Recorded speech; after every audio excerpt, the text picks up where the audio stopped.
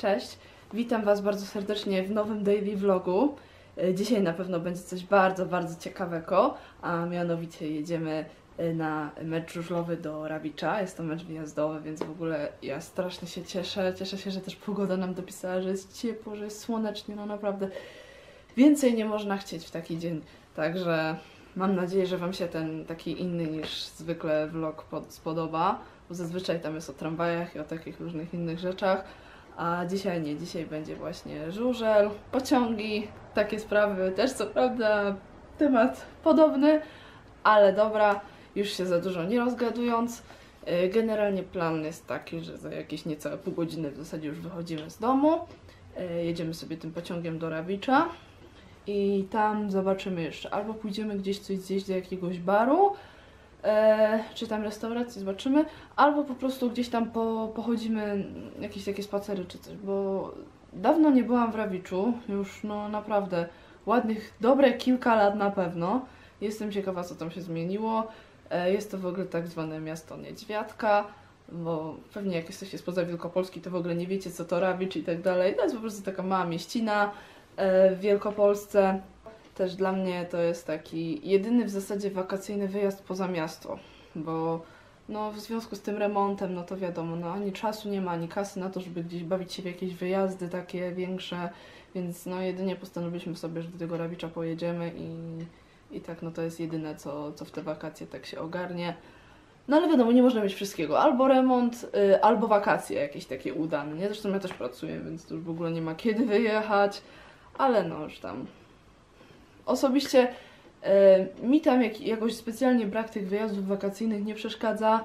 Wolę mieć zrobiony remont pokoju, a o wyjazdach wakacyjnych pomyślcie się może w przyszłym roku. Także nie wszystko naraz, trzeba sobie stopniować przyjemności, żeby nie wykorzystać wszystkich przyjemności od razu. Zachęcam do oglądania, łapka w górę i lecimy. No a teraz jeszcze szybki rzut oka, co mam dziś na sobie. Tak nietypowo, bo w sumie jeszcze nigdy tego nie pokazywałam. Sorry też, że lustro jest upaćkane, ale wiadomo, tutaj się różne rzeczy dzieją, także no nie, nie zawsze jestem w stanie utrzymać wszystko w porządku. Ale no, a propos mojego outfitu dzisiejszego, mam na sobie moją żółtą bluzkę żużlową e, Tomasza Goloba. W ogóle polecam kupować te koszulki, e, gdyż wspiera się w ten sposób leczenie e, naszego słynnego żużlowca. E, Poza tym jest w żółtym kolorze, który idealnie dzisiaj będzie mi pasować. E, Do tego mam czarną e, spódniczkę rozkroszowaną. Ona chyba była kupiona w Siena już dosyć dawno temu. A na nóżkach są to czarne Nike Itanium. Bardzo, bardzo wygodne. Mam takie same do pracy i naprawdę świetnie mi się sprawdzają. Oprócz tego jeszcze będę mieć też moją torebeczkę z e-Karla w pudrowym, w, kolorze pudrowego różu e, z tymi takimi sznurkowatymi e, uchwytami, a w torebeczce oczywiście wiadomo standardowe rzeczy. Telefon, pomadka, słuchawki, aparat też tam będzie. Tutaj mam różne akcesoria kibicowskie, ale to na razie nie będę wam za dużo pokazywać. E, co tam jeszcze? Portfel, dokumenty, o właśnie korektor do, do twarzy. Ostatnio właśnie sobie kupiłam nowy.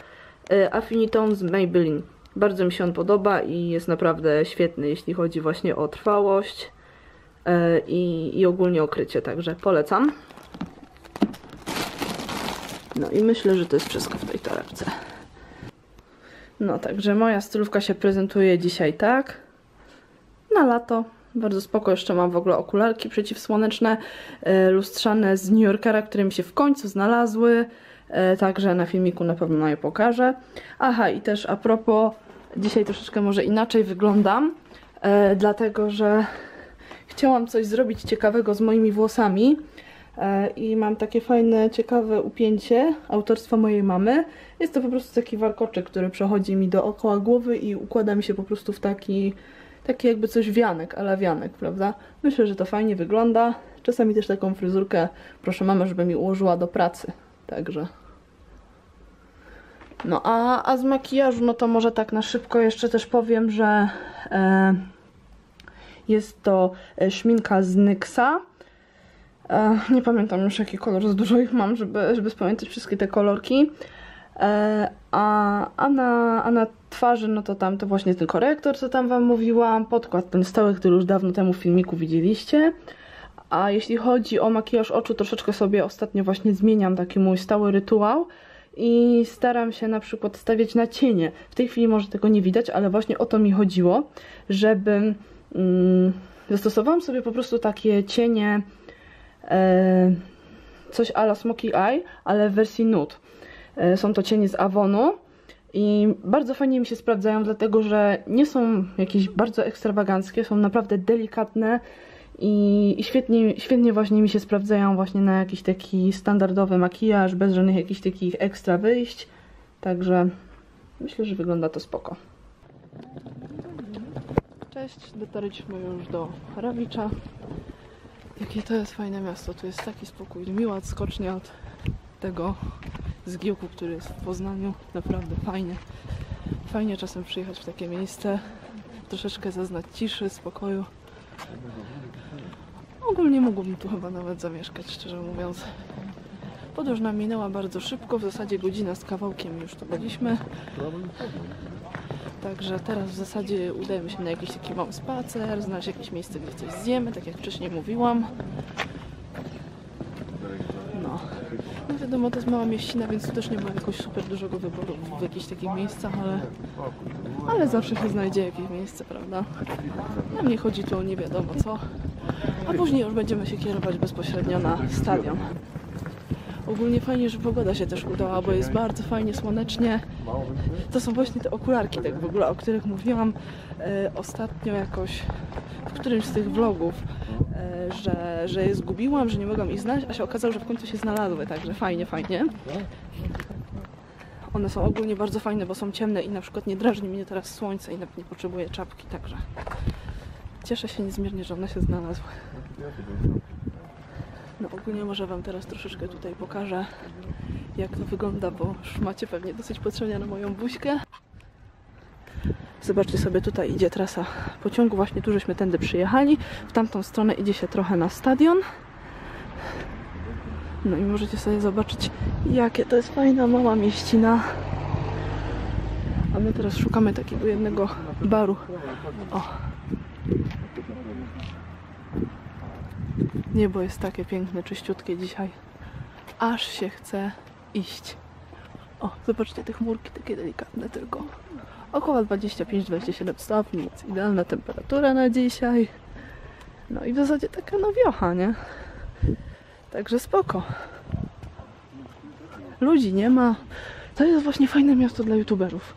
Wiecie? Bo tutaj nikt w zasadzie nie, nie idzie cały czas za tobą ani przed tobą i, i możesz sobie iść swo- swobodnie nagrywać. Ja tutaj w ogóle nie mam krępacji, żeby się nagrywać, bo tak jak na przykład w mieście chodzę, no to tak trochę się często kryję, gdzieś tam czekam aż, aż gdzieś nikogo nie będzie w tle i w ogóle. A tak to tutaj no jest super, prawda? Nie ma ludzi. Elegancko. Zobaczcie sobie tam na przykład ten, ten taki skwerek uroczy. Poznaniu niby też takie rzeczy są, ale tutaj to wygląda jeszcze fajniej. Głównie dlatego właśnie, że, tego, że to jest właśnie tutaj taki spokój. Także super. Skręcamy sobie teraz tutaj w jakąś boczną alejkę. Co prawda ciężko powiedzieć, co to za miejsce, bo nie znamy dobrze Rawicza. Nowe miejsce dla nas.